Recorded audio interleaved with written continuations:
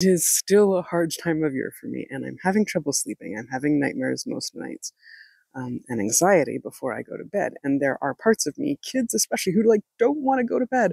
And so I'm saying like it's time for bed, it's time for bed, and the kids will take over, or some other part will take over, and they'll go, no, we just need to do this little research, or kids will go, no, we just need to play this little game, or no, we need to read a few more pages, or we need to do whatever. And then we're extending the time before we go to bed, even though we know we'll be more tired, even though we already deal with weariness and um, exhaustion, and there's so much going on for us.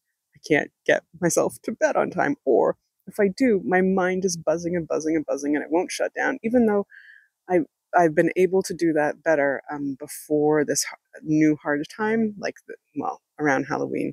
I was able to get to bed earlier and I was able to get to sleep so much faster because I've been taking melatonin and arnica, and the two of those two, like, combined help. But right now, with the hard time of year, it's not working as much anymore. So um, I'm going to raise the melatonin. I talked to my naturopath, and we've already raised the arnica, which is keeping me from having trauma memory nightmares, just not nightmares. Um, and hopefully soon I'll be able to get to bed earlier and actually fall asleep sooner, which is helpful. And I hope that you get good sleep too, and as much sleep as you need.